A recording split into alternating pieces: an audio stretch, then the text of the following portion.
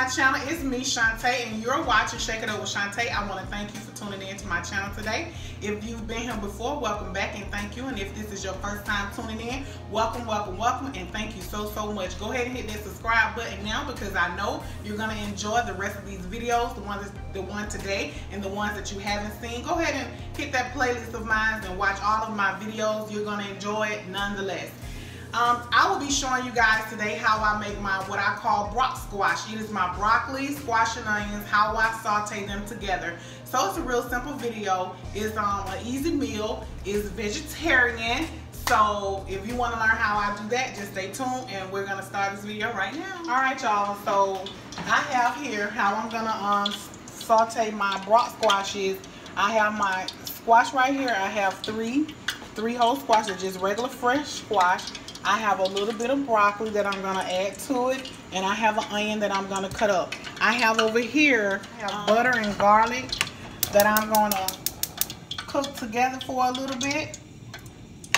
This is what I'm going to put my squash and broccoli and onions in. And then I'm going to season it. It's very simple recipe. So what I do is I cut the tip of the broccoli off. I leave the skin on and I'm just going to slice these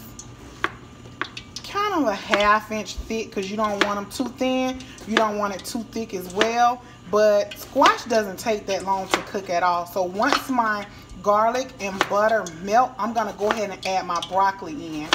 Once I add my broccoli, I'm going to let that cook about a minute or two before I put my squash in. So once I do that, I will come back and show you guys what it looked like. Now I'm slicing up my onions. They can be however thick or thin is that you want your onions to be. They don't have to be as thick as I'm making because I'm going to separate them. So I have my all of my squash and then I have my onions cut up here. And then I'm going to rinse my broccoli just a tad little bit. And then my onion and um, my garlic and butter has melted. So it's time for me to go ahead and put my broccoli in. All right, so I've rinsed my broccoli. I'm gonna go ahead and put this in here. I'm gonna turn it down a little bit low. I am gonna add a little bit water, but I'm on. I'm gonna add that at the very end.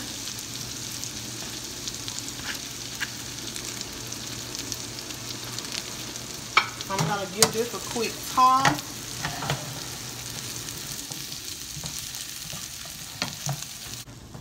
All right so I have my broccoli in here.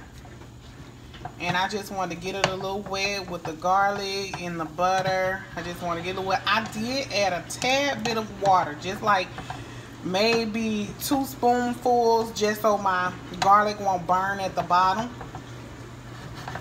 So I'm gonna go ahead and add my half a stick of butter right on top of that. All right and I'm going to go ahead and put my onions on top of here. See, I just spread that out. And I know y'all might say that's a lot of butter, but the more butter, the better. I tell you, you may gain a couple pounds, but it's okay. It's the holidays coming up, so you're going to gain a couple anyway. All right, I have that in there. I'm going to put a lid on this and let this cook for about a minute or two. And then I'll come back and add my squash. Alright, so my broccoli onion has been cooking for about two minutes. Now I'm going to go ahead and add my um, squash to this. You want to kind of layer the big pieces, just layer them around. And then the small pieces, you want to just throw them in the middle because they're going to cook. All of this is going to cook soon as I put the lid on this and it starts to steam up a little bit, squash cooks really, really fast. So, it may seem like a lot, but when I tell y'all at the end, you'll see that it's really not a lot.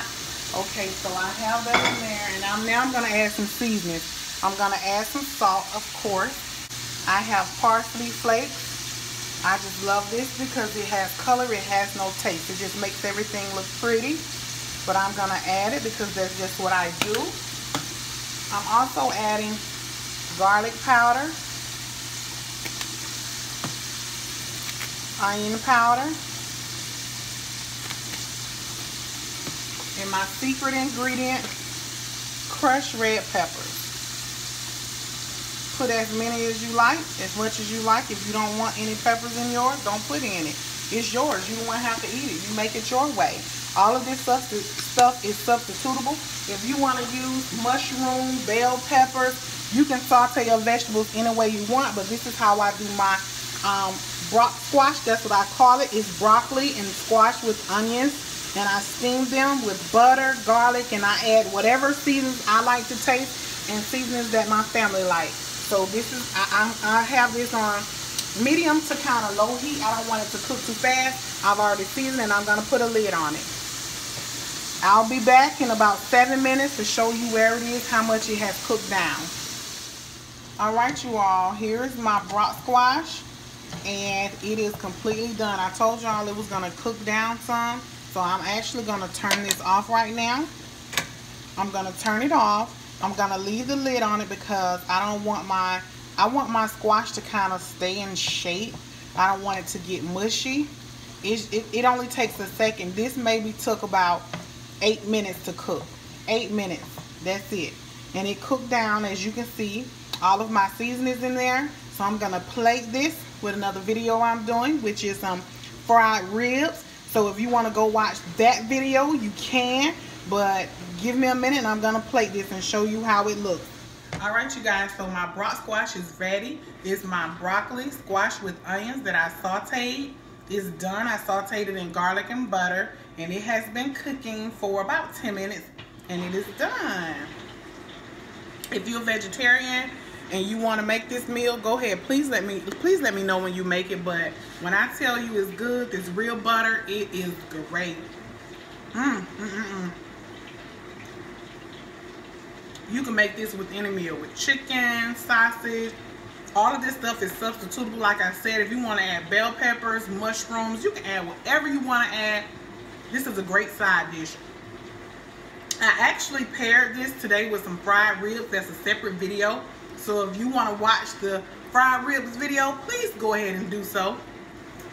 I'm going to plate this with my ribs, add me some ribs to this, and I'll be back to show you my dinner plate. Y'all have to try this brock squash. When I tell you, if you're vegetarian, this is the perfect thing for you. Is squash, broccoli, onions. I sauteed it in garlic and butter. I seasoned it with a whole bunch of other stuff. Watch the video. Cooked it for about 10 minutes. Great. Mmm. Mmm, mmm, mmm, mmm. Y'all know what time it is? Time for me to enjoy this meal. I won't hold y'all for too long. Hang on, I shot two videos today. I did one with the with the uh, brock squash, with the broccoli and squash, and then I did another one with the fried ribs. Please watch both videos. Um, I appreciate you tuning in to Shake It Up with Shante today. I'm going to finish this meal. If you haven't subscribed, please go ahead and do so. Don't forget to hit that thumbs up button and don't forget to hit the notification bell so every time I upload a video, you will be notified. Thank you all and I'll see you in the next video. Bye.